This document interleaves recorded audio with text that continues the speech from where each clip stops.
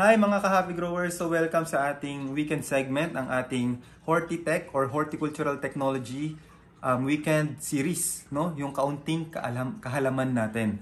Ngayon, i-discuss namin sa inyo about the lotus seeds or seeds ng Nelumbo nucifera.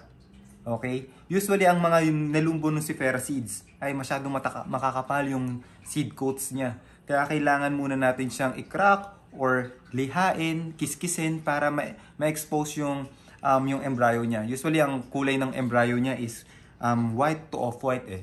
Once na nakita niyo na expose na siya, pwede niyo na siyang ilagay sa water natin. So ang gagamitin natin ngayon, as you can see, syempre, meron tayong mga seeds ng lotus, basin na may tubig, tap water. Okay lang din yan. And syempre, meron tayong pang-ipit. Kung wala kayong pang-ipit, martilyo pwede, or um, plies pwede, or pwede naman ang uh, pangliha nga. So, ang kakailanganin natin guys, syempre ang seeds, no? Ipitin nyo lang siya guys. Usually, medyo, medyo challenging ang pag-ipit sa kanya. Once na naipit nyo na siya at nakita nyo nagkaroon na siya ng, ng crack, lubog nyo na siya sa water. So usually mga 24 hours to 48 hours magkakaroon na yan ng germination. Uh, once na nag-germinate na siya from time to time, uh, palitan nyo lang yung tubig para hindi siya mamuti or magkaroon ng infection. So yun lang. Pwede nyo siyang gawin. Gusto ko rin siyang itry sa aquarium ko.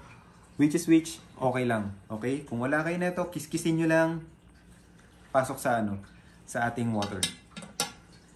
Pwede mo siyang i-store kung saan. Since masyado siyang makapal yung seed coat nga niya, huwag nyo lang siyang hayaang magkaroon ng amag. So, huwag nyo lang siyang babasain.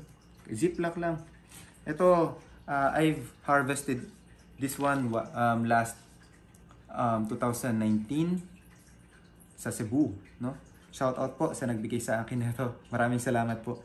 Kaya, ngayon pa lang namin gagawin. So, so far, tignan natin sa mga susunod kung ano nang susunod na mangyayari sa kanya. So yun lang guys. Happy growing!